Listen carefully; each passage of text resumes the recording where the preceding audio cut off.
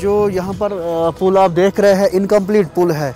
पिछले पाँच साल से यहाँ पर पड़ा है, ऐसे ही काम पे इन्होंने लगाया था और तब से आज तक ऐसी इनकम्प्लीट छोड़ा है। हमारे यहाँ पर बहुत सारे मसाइल है हमारे इस मोहल्ले के। ये तीन चार मोहल्ले आते हैं, बहुत बड़ा मोहल्ला आता है। पहले जब हमारे यूनियन टेरिटरी नहीं थी, मिनिस्टर आए थे, यहाँ पर सेंक्शन हुआ था, इन्होंने बोला था कि हम आप लोगों के लिए, इस गाँव के लिए हम कुछ करेंगे।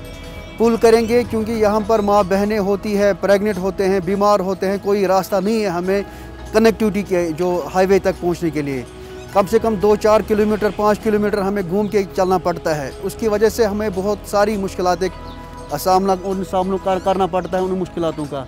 अब हमारी तो ये है कि जो ये हमारा पुल है जिससे हम कम से कम अपने बीमार, बूढ़े बच्चों को डॉक्टर के पास ले जाए। बड़े बड़े बड़े छोटे छोटे काम है जो हमें करने पड़ते हैं। इससे हमें आसानी हो जाती है। यही इल्तिजा है गवर्नमेंट के साथ कि इससे जल्द से जल्दी पूरा किया जाए।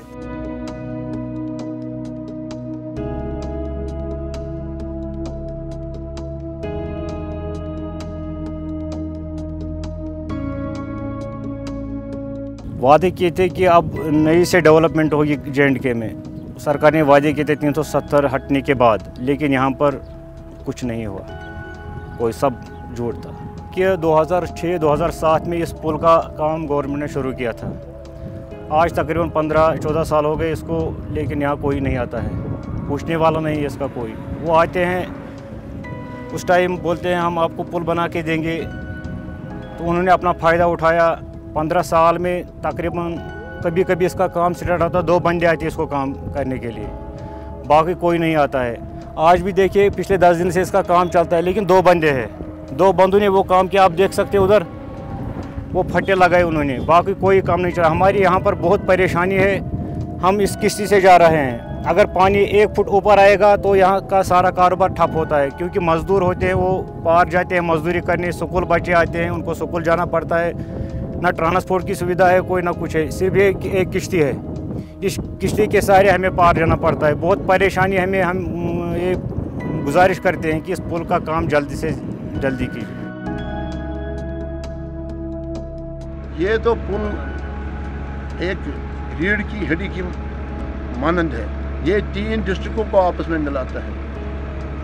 इस्लामाबाद, कुलगाम, शोपियान, पुलामा से होते हुए बड़गाम तक ये आपस में मेल मिलाप चलता है।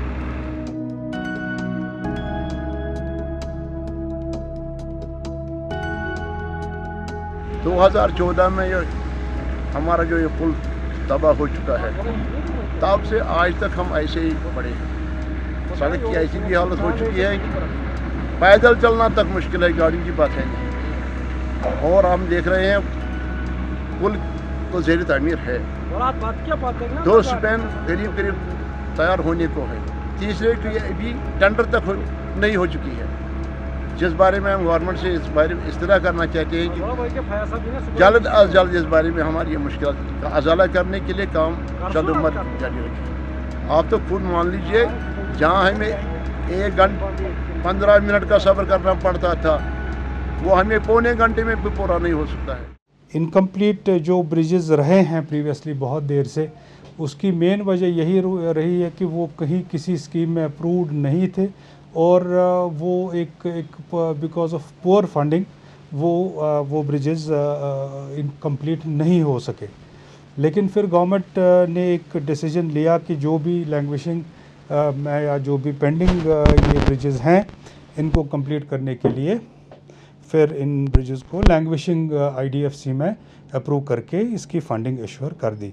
सो इन होपफुली ये ब्रिजेस पे हम जो बैलेंस इनका काम है, वो हमने टेकअप किया हुआ है and and in this will be completed within this season